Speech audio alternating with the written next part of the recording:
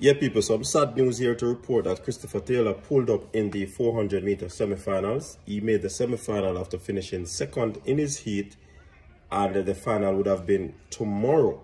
However, he pulled up at about 100, uh, I think it was the first um, 200 meters.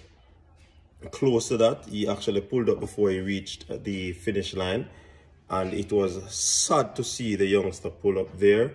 I mean, I hope that it is not anything serious. He walked away, but whatever it is, we're just hoping that it's not anything that is serious. You know what I mean?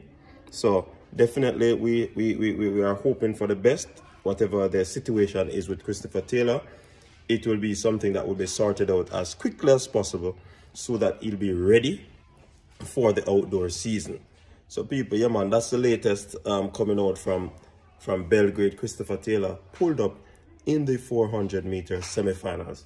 And we're not um, too certain of the severity of the injury at the moment. But uh, you can follow this space to uh, get updates on what is transpiring with Christopher Taylor. Until next time, people, stay safe. Peace out.